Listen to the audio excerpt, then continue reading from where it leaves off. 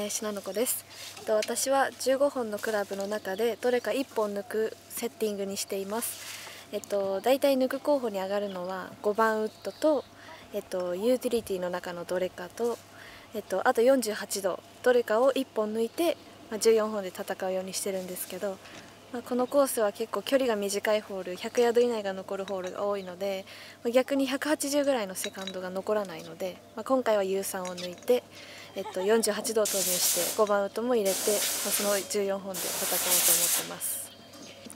えっと、52度がだいたい85ぐらいなんですけどフルショットしてでピッチングがフルショットすると110飛んでしまうので、まあ、そこの間が空いた時に、まあ、ちょっとロングの3打目でそのくらいの距離が残るっていった時にあんまり中途半端なスイングはしたくないので、